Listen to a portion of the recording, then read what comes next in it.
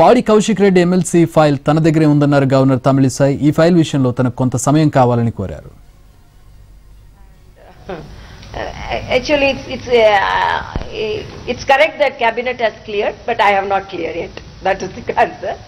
Why means uh, it is uh, it is for the upper house, and the category is uh, in the social service category, and it is the governor's nomination.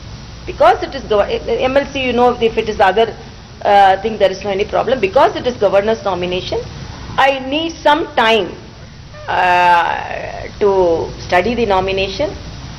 Uh, So I can take some time, I think. That's that's it.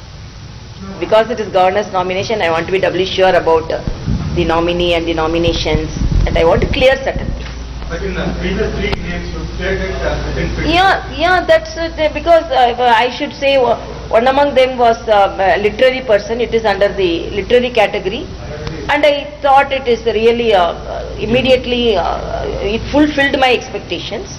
And uh,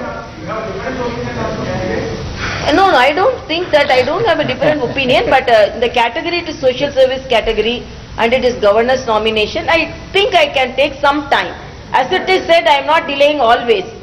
So that, huh? Not, I, I, I'm, ta- I'm taking some time. It's not objection.